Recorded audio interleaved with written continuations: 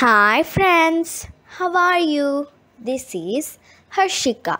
Today we are going to learn about the solar system. You can see in this picture the sun and its eight planets, their moons or satellites, and pieces of rock, dust belong to the solar system. The sun is a star. The sun is the brightest object in the sky. It is a huge ball of hot, glowing gases. It gives heat and light. Without heat and light, there would be no life on the earth. It is the star closest to the earth. A planet is a large heavenly body that goes around a star. Planets do not have their own light and heat.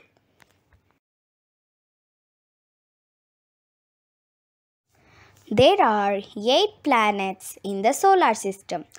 The eight planets are Mercury, Venus, Earth, Mars, Jupiter, Saturn, Uranus, Neptune. The Earth and seven other planets move around the Sun. Mercury, Venus, Earth, Mars, which are close to the Sun, are called the inner planets. They are made up of rock. Mercury is the planet nearest to the Sun. It is very hot during the day and very cold at night.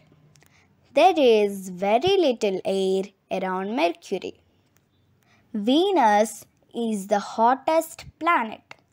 It is the planet closest to the Earth. It shines the brightest among the all planets. It can be seen in the morning and evening. It is often called the morning star or the evening star. Earth is the only planet that is known to have life. It is neither too hot nor too cold. It has water and is surrounded by air containing oxygen. It has one moon. Mars is known as the red planet. It appears red because of the dust that covers it.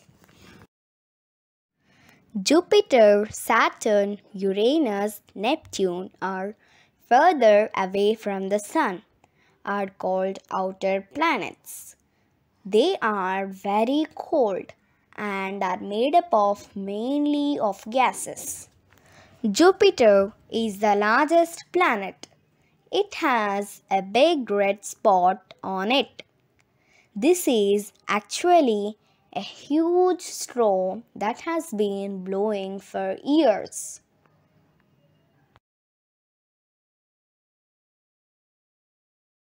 Saturn is the second largest planet.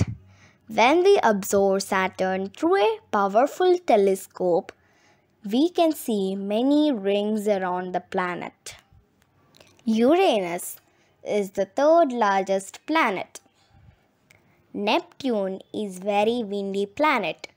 Strong winds with speeds of 2000 kilometers an hour blow across the planet.